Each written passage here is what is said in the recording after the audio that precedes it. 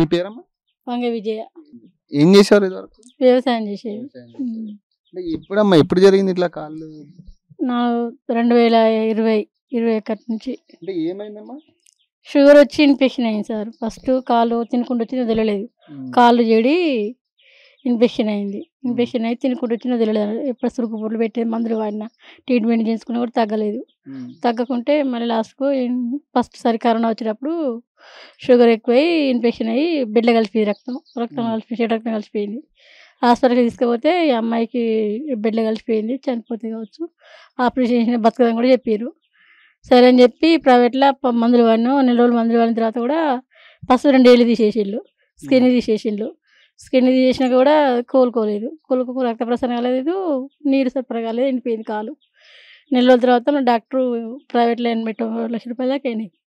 అయినాక మళ్ళా ప్రైవేట్ తీసుకుపోయినాం. ప్ర- గవర్నమెంట్ తీసుకెళ్ళి డాక్టర్. తీసుకుపోయి అక్కడ వేయించుకొచ్చిండు దీనికి కూడా ఏలు చుట్టుకెళ్ళి తోలు అయింది. దానికి కూడా లక్ష రూపాయల మందులు వాడినాం. తక్కువ అవుతుంది ట్రీట్మెంట్ చేసిండు. అంటే గవర్నమెంట్ నుంచి వచ్చిందా సపోర్ట్ ఎట్లా మరి? అది గవర్నమెంట్లో అప్లై చేసిందా? చేసినాం. వచ్చారు ఇచ్చారు ఇచ్చారు సర్టిఫికేట్ కూడా అక్కడి నుంచి తీసుకొచ్చుకున్నాం. అక్కడి తీసుకొచ్చి కూడా సప్లై చేసి పైకి పంపించను. హన్మకొండకు వరంగల్లా ఈ రాయపతి ఎండి ఆఫీస్లో అందరిని కలిసి కూడా సర్టిఫికెట్లు ఐదు సార్లు ఇచ్చేటాం సారు. ఇచ్చినా కూడా రేషన్ కార్డు ఒకటే ఉంది. అంత ముందుకు రేషన్ కార్డు మా అత్త మామయ్య వాళ్ళది వాళ్ళది వేరే ఉండే మాది వేరే ఉండే పిల్లలది మాది.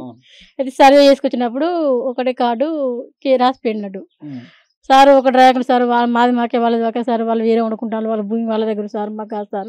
పిల్లలు మేము ఇట్టిన సార్ అన్నా కూడా వినలేదు వినకుంటే రాసుకెళ్ళి సార్. రాసుకెళ్ళిన తర్వాత సర్వే పోయింది పైకి పోయింది అని చెప్పి మీ నాకు పాలు పోయి నాలుగు సంవత్సరాలు అవుతుంది ఆ సర్వే చేసుకొచ్చి ఐదు సంవత్సరాలు అవుతుంది ఇక ఇట్లా అయిన తర్వాత మరి ఏందని మేము లాస్ట్కి పోతే కార్డు ఒకటే ఉంది ఉమ్మడి కుటుంబం సర్వే పోయింది. రావట్లేదు చెప్తాను కార్డు పింఛన్ కార్డు కూడా ఇచ్చిళ్ళు. పింఛన్ కార్డు కూడా చెప్పినసారి పెద్ద రావట్లేదు సార్. కార్డు మీద సీరియల్ నెంబర్ రాలేదని చెప్పి అక్కడి నుంచి రాలేదని చెప్పి పంపేదాన్ని ఇవ్వట్లేదు మరి అట్లా కాదు. ఇప్పుడు మీ ఇప్పుడు మీ పరిస్థితి చూస్తే ఖచ్చితంగా పింఛన్ ఇవ్వట్లేదు సారు. ఆ. దయాకర్ని కలిసిన. ఇక్కడ విను అక్కడ విను ఇక్కడ విను కూడా ఇక ఇప్పితో ఇప్పితో ఇక్కడ ప్ర- సర్పంచ్ చెప్పినాం. అందరు చెప్పినా కూడా మొన్న కూడా ఎంబీ ఆఫీస్ కూడా ఇప్పుడు కొత్తగా కూడా మొన్న కూడా పింఛన్లు ఇది పెంచి వచ్చినా కూడా రావట్లేదు సారు. లేదు. నీకు వెయ్యి మంది తర్వాత వస్తుంది రెండు వందల మంది తర్వాత వస్తుంది అట్లా ఇట్లా అని అంటాను నీకు ఆల్రెడీ నాలుగు సంవత్సరాలు అవుతుంది కదమ్మా నీకు నాలుగు సంవత్సరాల కానీ కూడా ఒప్పుకోబట్టిన సార్ మీ అట్లా కూడా ఇక. నాలుగు రెండు సంవత్సరాల తిరుగుతూనే ఉన్నారు. ఆ, తిరుగుతూనే ఉన్నాం. రెండు సంవత్సరాలు అన్నారు కదా కరోనా ఉందమ్మా ఇప్పుడు రావని చెప్పిళ్ళు. ఈ రెండు సంవత్సరాల నుంచి కూడా తిరుగుతున్నాం అన్నట్టు ఈ రెండు సంవత్సరాల నుంచి లేదు. లేదు. మరి ఈయన ఏమంటారు దయాకర్ ఏమంటుండ? దయాకర్ ఏమన్నాడు అంటే సరే అమ్మా నేను ఇప్పిస్తానన్నాడు ఆయన. అని సరే నేను చేస్తానన్నాడు పోయినప్పుడు కలిసి వచ్చినాం అక్కడికి కూడా. కలిసి వచ్చిన తర్వాత ఆడ కూడా తీసుకున్నారు. ఇక పేపర్ ఇట్లా వేసుకుని నేను చెప్తానమ్మా అన్నాడు. వాళ్ళు చెప్పింది పోయింది సార్. చెప్తా అనడమే తప్పితే జరగలేదు. కానీ మరి ఈ వెహికల్ ఇచ్చారు కదా మరి వెహికల్ పెట్టిరా? వెహికల్ కూడా వేయలేదు సార్. మొన్న పోతే అన్ని అప్లై చేసుకున్నారు. మేమే పేరు సొంతంగా. మీటింగ్ పెడితే మొన్న మొన్న మీటింగ్ పెడితే వరంగల్ పోయినాం ఒకసారి వేయించినాం మళ్ళీ మొన్న కూడా రమ్మంటే కూడా పోయినాం. పోతే అన్ని అప్లై చేసుకున్నారు ఫోటో తీసుకున్నారు. ఈ ఆధారం ఏం లేదు సార్ మాకు ఒక ఎకరం పొలం ఉండే. ఎకరన్నర పొలంలో పిల్లలకి ఇచ్చేసినాం. మాకు ఒక ఎకరం పొలం ఉంది. మా అత్త మా పేరు మీద భూమి ఉన్నది. వాళ్ళ పేరు మీద పట్టా ఉంది. వాళ్ళే రైతు బంధు ఇది అంతా వాళ్ళు వేసుకున్నారు సార్. వాళ్ళు ఇప్పుడు ఈ ఇంట్లో కూడా ఉండట్లేరు.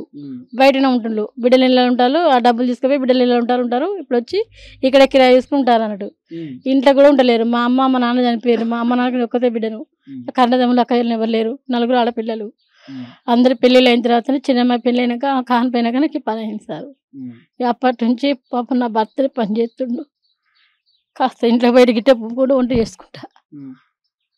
అట్లా కదా మరి? కేసీఆర్ ఇప్పుడు ఇస్తా ఏ చెప్పింది కదా ఏం చెప్పట్లేదు సార్ ఏమి ఏమి చెప్పట్లేదు సార్. ఇది చేస్తా అంటారు మొన్న నిన్న మాక మొన్న వేస్తే కూడా రెండు నెలల టైం పడుతుందని ఇలాంటి వాళ్ళకే చేయాలి కదా మరి? చేయట్లేదు సార్. చేస్తా చేస్తా అంటారు చేయట్లేదు సార్. ఇప్పుడు షాప్ పెట్టుకోవడానికి లక్ష రూపాయలు ఇస్తా అన్నాడు అయ్యి ఏమీ లేదు సార్ ఏవి లేవు సార్ అసలు వెహికల్స్ లేదు షాప్ లేదు ఏది లేదు.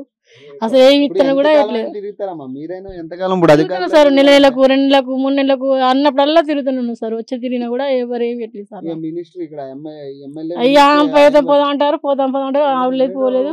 వెయ్యి మంది తర్వాత రెండు నెలల తర్వాత రెండు వందల మంది తర్వాత నీకు అట్లా ఎట్లా అని కూడా జెడ్పీటీసీ సర్పంచ్ వీళ్ళందరన్నా కూడా ఇప్పుడు వ్యవసాయం పరిస్థితి? ఈయన ఉన్న పొలం రెండు సంవత్సరాలు మూడు సంవత్సరాలు కౌలుకి ఇచ్చిండు. సార్ ఎవరు సరిగా పంట ఇవ్వట్లేరు పంట అయిపోయేసరికి ఈయన దున్నిచ్చి నాటేసుకుంటారు పండుతుంది. ఒక పొలంలో ఒడ్లు పండితే మా ముగ్గురు పిల్లలకి ఇవ్వాలి సార్. ఇద్దరు పిల్లలకి ఇవ్వాలి మాకు. అందులోనే ఇక మిగతా ఖర్చులు కూడా అన్ని అదే. సార్. ఇక అన్ని అప్పు తీసుకొచ్చుకో పెట్టుకున్నాం కదా సార్. ఇప్పుడు పది లక్షల అప్పు ఉంది.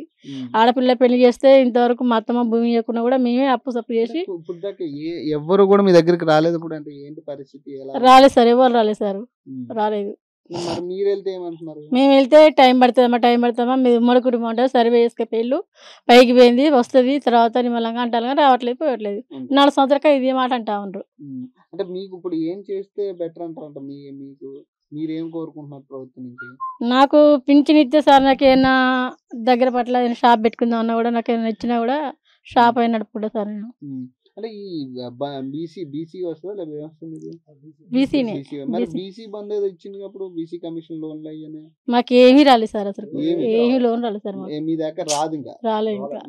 రాలే. మరి ఇల్లు ఏమైనా పెట్టిరా? డబుల్ బెడ్రూమ్ లేదు సార్ ఏం పెట్టలేదు. రాయపత్రి మా అమ్మ వాళ్ళ ఖాళీ స్థలం ఉంది. అయితే అక్కడ పెట్టుకుందాం చూసినా కానీ మా పరిస్థితి బాగాలేక అక్కడ అమ్ముకుందాం అని చూసిన సార్. పది లక్షల అప్పు ఉంది. ఎవరు ఆగట్లేరు ఇక అప్పు చేయడం కూడా బండి వెహికల్స్ ఉండే వెహికల్స్ కూడా గుంజుకెళ్ళిండు ఒక ఆయన. కొట్టి ఈయననేది. గవర్నమెంట్ నుంచి కూడా సపోర్ట్ లేదు. లేదు. ఏది లేదు సార్. ఏ సపోర్ట్ లేకుండానే ఇట్లుంటాను. అంత అప్పు సప్పు చేసి వ్యవసాయం నడిపించుకుంటుండే ఆయన కూడా కదా. ఏం చేయాలని చెప్పి అప్పు సప్పు చేసి వ్యవసాయం నడిపించుకుంటుండే.